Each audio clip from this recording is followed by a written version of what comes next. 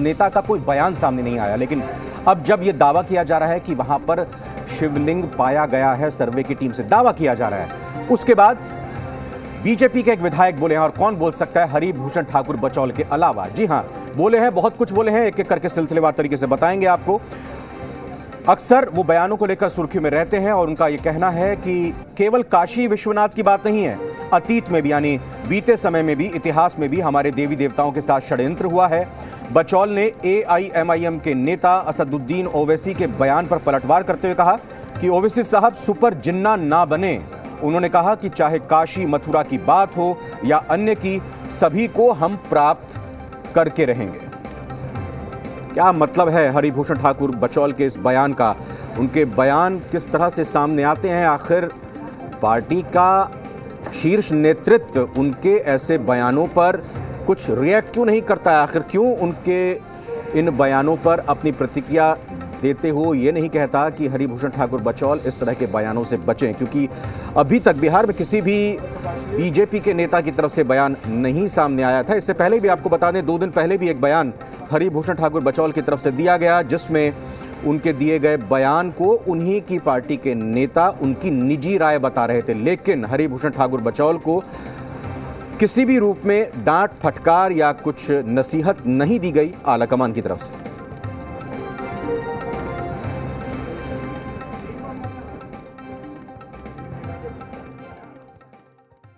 मस्जिद है और रहेगी ताला सुबह कयामत तक। ज्ञानवापी मस्जिद मस्जिद थी और जब तक अल्लाह दुनिया को कायम रखेगा, मस्जिद रहेगी इंशाअल्लाह ताला। ज्ञानवापी में शिवलिंग मिला है। ज्ञानवापी का अर्थ होता है ज्ञान का कुआँ, ज्ञान का कुआँ। ओबीसी साहब सुपर जिन्ना नहीं बने, वो मंदिर था, विश्वेश्वर भगवान का मंदिर रहेगा। और तीस हज़ार ऐसे मंदिर हैं जो सौंपना पड़ेगा। अभी तो झांकी है, काशी, सारा देश बाकी है।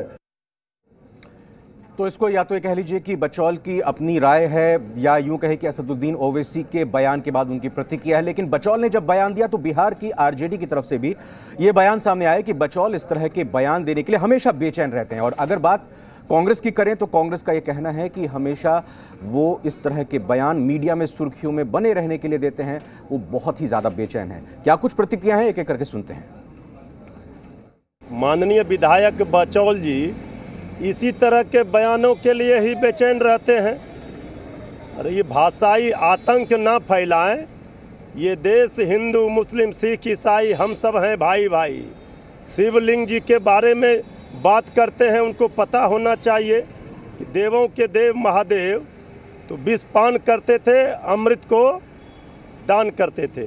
और ये बीजेपी के लोग, ये तो अमृत अपने पी रहे हैं, अब विष जनता को पिला रहे हैं। कहीं ना कहीं लग रहा है कि 2024 की तैयारी कर रहे हैं, कि सत्ता से जब निकलेंगे तो मंदिर के बाहर बैठेंगे। तो इस तरह का बयान इनको यही प्रदर्शित करता है कि आगे का भविष्य देख के घबराए हुए और मंदिर मस्जिद की बात करते हैं। रोज़गार की बात नहीं करते, महँगाई की बात नहीं करते। बिहार में इतना भ्रष्टाचार बढ़ा हुआ है, लोगों की आए दिन हत्याएँ हो रही है, ये सब बात क्यों नहीं करते हैं? लोग आपको इस चीज़ के लिए चुन के भेजा है, मंदिर बनाने के लिए नहीं। अगर हरिभूषण ठाकुर जी को लगता है कि किसी मस्जिद के नीचे मंदिर दबा हुआ है तो हरिभूषण ठाकुर जी मीडिया में क्यों बयानबाजी करते हैं? बिहार में भी उनकी सरकार है, केंद्र में भी उनकी सरकार है। सरकार के सामने जाकर गुहार लगाए। कोर्ट है, न्यायालय में जाए। इस तरीके का बयान देकर के सुर्खियों में बने रहने वाले व्यक्ति की जगह बिहार विधानसभा नहीं पागल खाना है। मैं माननीय मुख्यमंत्री नीतीश कुमार जी से अनुरोध करता हूँ कि ऐसा सामाजिक सौहार्द बिगाड़ने वाले विधायक के ऊपर में अविलंब कार्रवाई करें और इन्हें पागलखाना में भर्ती करवाएँ। पूरी खबर पर सीधा रुख करते हैं पटना का रुपेंद्र श्रीवास्तव। हमारे सहयोगी साथी इस वक्त और जानकारी के साथ मौजूद हैं। रुपेंद्र, ये वो बयान है हरिभूषण ठाकुर बचौल की तरफ़ से हमेशा जो सामने आते हैं और कहीं ना कहीं असहज स्थिति बीजेपी के बाकी नेताओं के लिए बन जाती है और जेडीयू हरिभूषण ठाकुर बचौल के बयान के एकदम खिलाफ बोलते हैं। लेकिन इधर फ़िलहाल कुछ बोलते हुए नज़र नहीं आ रहे हैं वो। देखिए, जेडीयू पूरी तरह से अभी बोलते हुए कुछ नज़र नहीं आ रही है और हरिभूषण ठाकुर बचौल का बयान कब आया है? जब ओवैसी ने जब बयान दिया है, उसके बाद ऐसे बयान आए हैं। और ख़ास तौर पर बीजेपी के कई नेताओं ने दिल्ली से लेकर पटना तक प्रतिक्रियाएँ दी हैं, लेकिन हरभूषण ठाकुर बचोल ने जिस तरह से बयान दिया है, उस तरह का बयान बीजेपी के किसी नेताओं ने नहीं दिया है। वहीं आरजेडी और कांग्रेस ने भी अपनी प्रतिक्रियाएँ दी हैं। साफ़ तौर पर हरभूषण ठाकुर बचौल को टारगेट किया है, बीजेपी को टारगेट किया है। लेकिन अब सवाल ये खड़ा होता है कि हरभूषण ठाकुर और बचौल जो है लगातार बयान देते रहते हैं, लेकिन पार्टी जो है, उनके बयान के बाद जो है कभी कभी सफ़ाई देती है नहीं तो उनके बयान के बाद पार्टी चुप हो जाती है। और अब तो एनडीए में जो हिंदुस्तानी अवाम मोर्चा जो है, अब उसके तरफ़ से हरिभूषण ठाकुर बचौल के बयान को लेकर जिस तरह से प्रतिक्रिया आई है, उसको लेकर अब कहा जा सकता है कि अब एनडीए में ही बचौल के खिलाफ जो है आवाज़ उठने लगी है। लेकिन अब सवाल ये है कि इस बयान को जिस तरह से बीजेपी अब पार्टी का बयान मानती है या उनका निजी बयान है, अभी इस पर जो है बीजेपी ने कुछ नहीं कहा है। जी। मैं उसी की बात का आपसे जानना चाह रहा था कि जेडीयू की भले ही कोई प्रतिक्रिया नहीं आई हो, लेकिन हिंदुस्तानी आवाम मोर्चा, उनके प्रवक्ता दानिश रिजवान का ये कहना कि बचौल ऐसे बयान क्यों दे रहे हैं? जाइए अदालत में और ऐसी उलझलूल बातें कर रहे हैं वो उनको तो पागल खाने भेज देना चाहिए। अपने सहयोगी पार्टी के चुने हुए प्रतिनिधि को इतनी कड़वी बात कहना कितना? मैं मैं मैं मैं रोक रहा हूँ रुपेंद्र श्रीवास्तव मैं आपको रोक रहा हूँ मैं मैं रोक रहा हूँ आपको क्योंकि इस वक्त खुद हरिभूषण ठाकुर बचौल हमारे साथ फ़ोन लाइन पर जुड़ चुके हैं। हरिभूषण जी आपका बहुत बहुत स्वागत है।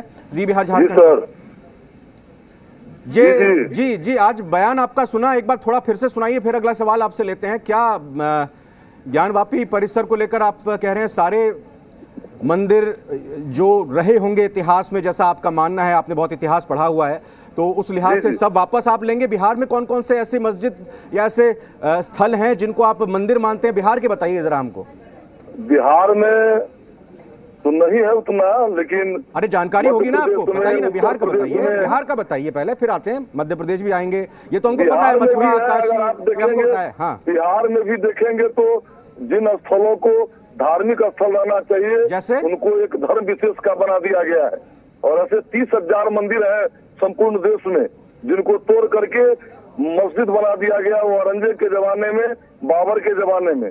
हमारे जो भी पूजनीय और प्रसिद्ध दो तीन मंदिर है उसको दे दे अन्यथा तीस हज़ार मंदिर हम लेंगे। दानिश रिजवान को जानते हैं आप हिंदुस्तानी आवाम मोर्चा आपके सहयोगी पार्टी के वो खूब जानता हूँ। हाँ जानते हैं ना ठीक है तो वो आपको कह रहे हैं कि पागल खाने भेज देना चाहिए। उनको पागल खाना जाना चाहिए तो पागल सब बनेगा। देख नहीं रहे हैं। काशी में क्या हुआ है ज्ञान बापी खाना में? ज्ञान बापी में क्या हुआ है? पागल खाना तो वो लोग जाएगा, जो दिन बार भर दिन पाँच बार लोगों को गाली देता है। अल्लाह अकबर कहता है, केवल अल्लाह श्रेष्ठ है, दूसरा कोई पूजनीय नहीं है। पागल खाने तो वो लोग जाएँगे, क्योंकि सत्यता आ रही है सामने। क्यों नहीं जाने दे रहा तो सर्वेयर को भीतर? अच्छा ये, ये, ये, ये तो अदालत मैं एक चीज़ जानना चाह रहा हूँ बचौल साहब। ये तो अदालत का काम है सर्वे वो करवा रहे हैं जो भी प्रक्रिया है वो चल रही हैं। ये इस तरह की बातें रखना कितना जायज़ है? बड़ा बड़ा अच्छा लगेगा कि जहाँ पर आप विधायक जहाँ के आप विधायक हैं। जहाँ पर आप विधायक हैं आपने वहाँ पे लोगों के लिए कितनी सड़कें बना दी कितने स्कूल खोल दिए कुछ थोड़ा इसकी बात कर लिया कीजिए कभी इस तरह की भी बयान दीजिए हम तो दिखाते हैं हर तरह की बात। की तरफ़ से कभी इस तरह की बातें नहीं आती सामने। हुआ नहीं है। सारे मंदिर स्कूल से जुड़े हुए हैं। मंदिर स्कूल से जुड़े हुए हैं। मृत्यु हाँ। जो जो मज़हब के नाम पर कुछ नहीं है उनका तो सीधा सवाल मैं पूछता हूँ आप समझते नहीं है उसका जवाब देना नहीं चाहते हैं। मृत्युंजय तिवारी आरजेडी के प्रवक्ता भी मेरे साथ है बचौल साहब। उम्मीद करता हूँ कि आप बने रहेंगे हमारे साथ। मृत्युंजय तिवारी जी आपने बचौल साहब का बयान सुना, उनका कहना है कि बिहार में भी ऐसे कुछ परिसर हैं, ऐसे स्थल हैं जहाँ पर हम वापस मंदिर लेंगे और इतिहास में जो उनके साथ नाइंसाफी हुई है, वो दूर करेंगे। नहीं, देखिए, माननीय विधायक श्री बचौल साहब तो इसी तरह के बयान देने के लिए बेचैन रहते हैं। तो सब दिखता ही है लोगों को। तो हम समझते हैं कि उनको तो ये डर सता रहा है कि हम बीजेपी की सत्ता कहीं चली जाएगी बिहार में तो और बेचैनी बढ़ेगी। तो जब सत्ता में रह करके 19 लाख रोज़गार क्या हुआ? भ्रष्टाचार 1700 करोड़ का पुल उड़ गया हवा में। अपराध पर, महँगाई पर, ये सब पर भी बचौल साहब अगर बयान देंगे, तब ना उनका क्षेत्र का जनता भी फ़ोन लाइन पर हैं जान लेते हैं उन्नीस लाख रोज़गार की बात कर रहे हैं आपने दिया क्या नहीं दिया बचौल साहब? आपकी सरकार ने आपकी भाई के समय में सबको रोज़गार था अरे आप अपने समय की बात करिए ना। अपने समय की बात करिए ना आप। उनका उनका जो नब्बे से पाँच तक शासन था तो सब कलेक्टर एसपी था कि वोट की राजनीति करते हैं। वोट के लालच में ये लोग धर्म और परिस्थिति कुछ नहीं समझते हैं। और ये जो आप बयान दे रहे हैं ये किसकी राजनीति है? ये वोट की राजनीति नहीं है ये किसकी राजनीति है? ये ये स्वाभिमान की राजनीति है। अच्छा। ये हमारे अतीत में जो हमारे स्वाभिमान को कुचला गया है उसको फिर से पुनर्स्थापित करने की राजनीति है। ये लोग वोट बैंक के लालच में सत्य को सत्य नहीं कर सकते साहब हनुमान अभी आप शिव जी पर हनुमान जी पर भगवान श्री राम पर बोलते हैं शिव जी ने तो विष पान किया था। आपको पता है ना? संहार भी शिव जी तो है? संहार तो को हैं? तीसरा नेत्र जब खुलता है तो संहार से होता है। अपने है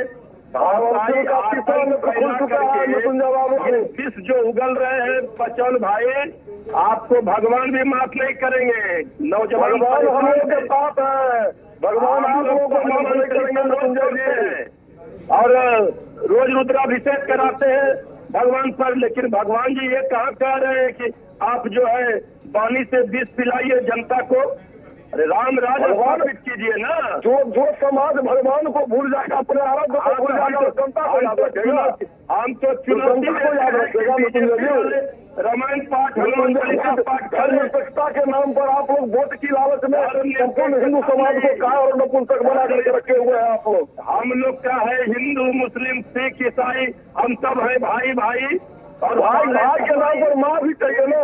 हमारे मृत्युंजय जी एक मिनट एक मिनट। हरिभूषण जी एक सेकंड बस मैं आखिरी सवाल ले लेता हूँ आपसे। बचौल जी मैं आखिरी सवाल ले लेता हूँ आपसे। उम्मीद है आप इसका जवाब देंगे मेरे को। बिल्कुल प्रदेश के लोग भी इस वक्त आपको सुन रहे हैं। हम सोशल मीडिया पर भी आपके इस बयान को बहुत ज़्यादा चलाएँगे कि हरिभूषण ठाकुर जी ने अपने क्षेत्र में अपने क्षेत्र में क्या काम किया? अपने क्षेत्र में पिछले छह महीनों में क्या काम किया? और ये 19 लाख रोज़गार में कितने रोज़गार आपकी सरकार ने दे दिए ये बता दीजिए। रोज़गार करोड़ लाख का करोड़ों मिला है। रोज़गार दिल की तमन्ना है जो चाहता उन्नीस लाख का दावा किया करोड़ रोज़गार दे दिए। वाह। हाँ? उन्नीस लाख का वादा किया करोड़ों रोज़गार दे दिए। करोड़ों रोज़गार दिए हैं और उनके जमाने में तो- मैं बेरोजगारी की बात नहीं कर रहा साहब मैं रोज़गार की बात कर रहा हूँ। जी जी। मैं रोज़गार की करोड़ों बेरोजगार जी जी रोज़गार हाँ, मिला। हाँ, है करोड़ों रोज़गार है रोज़गार मिलता है? अच्छा। इंथौल कारखाना लगा है। बिहार में क्या हो रहा है? सड़कें बन रही है। अच्छा बस बस बस एक, एक, एक आखिरी चीज़ और एक आखिरी चीज़ और अगली बार आपसे मैं जब बात करेंगे हमारी टीम बात करेगी तो बिहार के जरा ढूंढ लीजिए वो कौन कौन से अ, मंदिर रहे होंगे इतिहास में जरा थोड़ा सा देखिएगा अपनी सर, आपके हाथ में। और बताइएगा बिहार में कौन से हैं और वहाँ पर कहाँ आप धरना देने जा रहे हैं कहाँ प्रदर्शन करने जा रहे हैं? बड़ा अच्छा लगेगा आपके समाज के लोगों को और आपके जी बताइएगा ज़रूर बताइएगा ज़रूर। बहुत बहुत धन्यवाद। हरिभूषण ठाकुर बचौल और मैं बहुत बहुत शुक्रिया। मृत्युंजय तिवारी का करूँगा। मेरे साथ मेरे सहयोगी मेरे साथी रुपेंद्र श्रीवास्तव भी जुड़े थे। उनका भी बहुत बहुत धन्यवाद। बहुत बहुत धन्यवाद रुपेंद्र आपका। ज़्यादा बात आपसे नहीं कर पाया क्योंकि हरिभूषण ठाकुर बचौल खुद